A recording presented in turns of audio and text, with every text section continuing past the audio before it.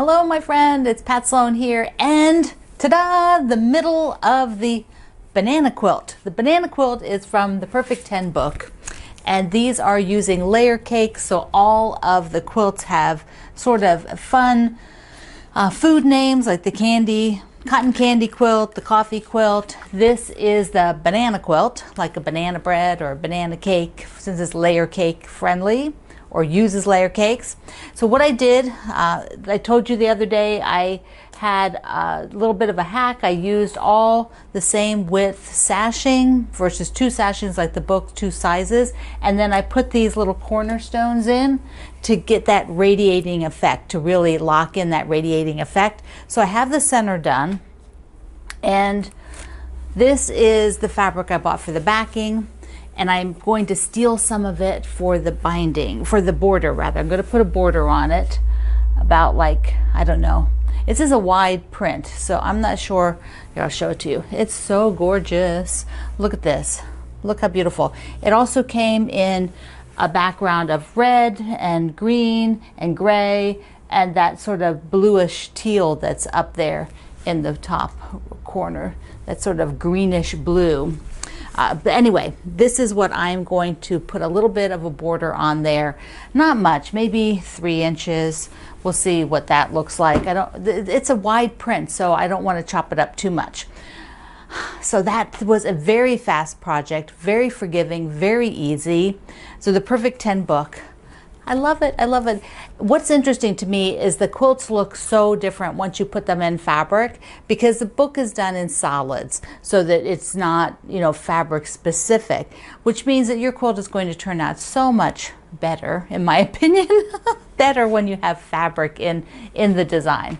So there we go. And let me show you two of my crumb blocks so I can take them off the wall here. And these were done uh, over the past couple of days. I don't remember if I showed you the green one or not. I think I may have showed it to you in progress. So there's the green one. And then I did this with some of uh, Christmassy type prints. Yeah, it's a little bit smaller. I'd like to make it a little bit bigger. I might still add another little section on it. Okay, so today is old school block of the month day. Uh, Katie is the designer for this month and she is from the UK. Uh, I am friends with Katie, and the uh, fun thing that she does, in addition to designing, is she's also really into featherweights and featherweight maintenance. And if you're in Europe, she sells parts, uh, you know, she ships parts for your featherweights. And, so, and she also does online workshops. So if you want to take a workshop about your featherweight, Katie's the one to go to. All right, we're going to take this down and put up the old school blocks. Katie Cameron of the Littlest Thistle is the November designer, and her block, this is my version of it, and I'm going to put her version up here. Her block is the bear paw with a double bear paw, like the baby bear paw and a mama bear paw. Katie's business is based off of when she first started Littlest Thistle, making delicate, small, intricate mohair bears, three dimensional bears. So this is totally perfect for her. Isn't that dar- darling? This is so cute. So I don't know where it'll go. I don't know if I'll switch a bunch of these around eventually and, you know, or whether I'll just do the last two on the bottom. Not not totally sure where I'm going to go with that yet, but let me just show you how I figured out the fabric for this one. With only two more blocks to go, my fabric selection is pretty tight, but I have plenty. It doesn't look like a lot. You could sort of panic, but there is plenty of fabric here for two quilt blocks. So let me show you. So I kind of sorted it went ahead and I also did just a screen print of her pattern with the cut sizes so that I could have it to keep here. So I've got lots of this uh, peach, which will be in the sashing. So, and I, I, actually have peach in three of the blocks. So I think I'm done with putting peach in the blocks. I want to use up this stuff. I also have this piece, which I could use either as a border or part of the backing. So I think I originally got it because I was thinking I'd put a border on there, but uh, I'm not sure now if I will do that. I might just use it for the backing and end it where it is. So the there's like rust color. There's only a little bit of rust color, and I actually think this block might be pretty good for having the rust in it. You know, using the rust up, get rid of it. There's only this much gold, so I don't know. I might just save that and see how the next block is. There's plenty of lights here, lots of lights. So I in a pink. So I want to use at least two of the lights for like I think for out here and then for in here. Just just use these guys up. Like one is this sort of tan and these this was a layer cake. And then I had some other fat quarters. Uh, but this layer cake this one I have enough of it I think I could do as a background for one of them. And it gives definition because it's got a more tan on it.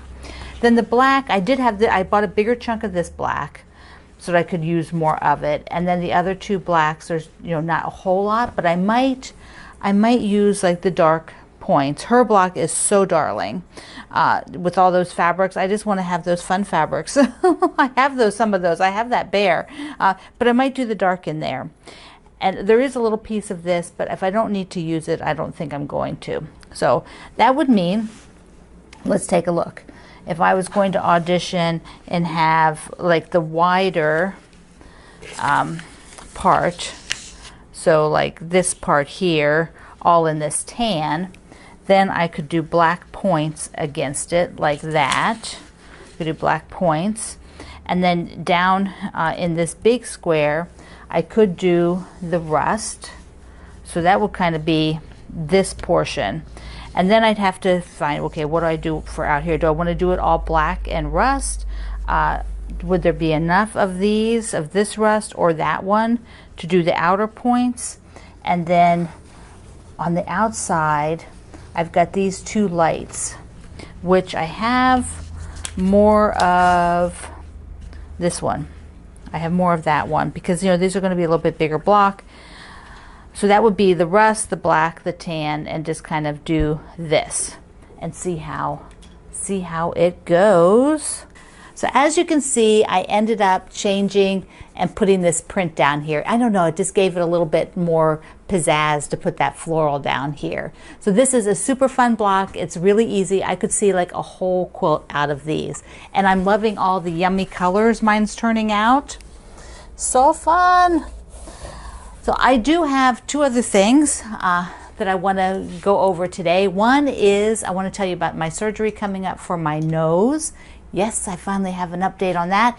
And I also at my website today where you can get the link over to Katie, uh, I have also the Virginia Quilt Museum put out this the four interviews I did with the mu fours or five five interviews I did uh, as one video with the museum directors about the love quilt. Uh, I think the love quilt's there. Um, anyway, I'm going to link that video. I'm going to put that video in my website today. So it's a great thing to listen to while you're sewing and you just want to have some history and some backstory of the Virginia Quilt Museum. It's quite fun. Okay, let me tell you about my nose.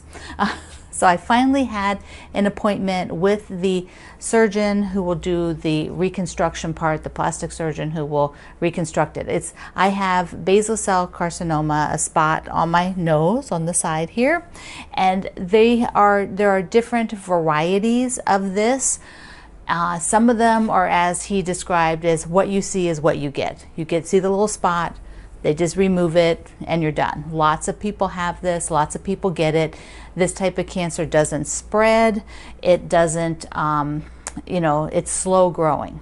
So, but there, but the basal cell, there are several types of it. I do not have the easy one, the see it, what you see is what you get. I have one that's different. Uh, it's a very tiny spot on the surface. He was actually very impressed that I realized my skin looked weird and went in to see the doctor. He said that was fabulous because it's not very easy to see this one. Uh, but underneath the surface of the skin is where it could have, uh, it could be much larger uh, and often is. And it's on my nose. Lovely.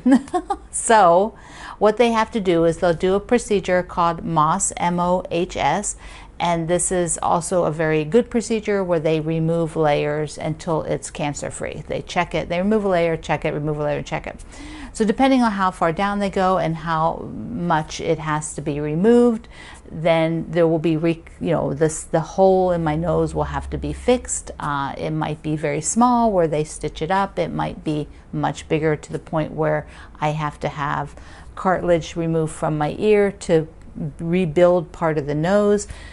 None of this they know until the day of surgery, till it happens. They can't tell till they remove it all. And the second, so I'll be seeing two surgeons, one to remove it and one to build it back up. All in the same day, and this will happen uh, November 23rd, which is two days before Thanksgiving. So that's, uh, you know, less than two weeks from now, about a week and a half, uh, and it will. I will most likely be there all day. So that means you know, it's a bit of a process. Uh, it's something that has to be done. Um, I'm very happy to get it sooner rather than later because he said often it can be up to three months that you have to wait due to having two surgeons and schedules and my schedule, which which I was like, I don't have a schedule. I can come whenever. Just get me in to get it over with. Um, so there will be stitches. He said my face will be swollen and I'll most likely have a black eye because he says when you're working around the eye, that's, you know, going to happen. Uh, so there you go.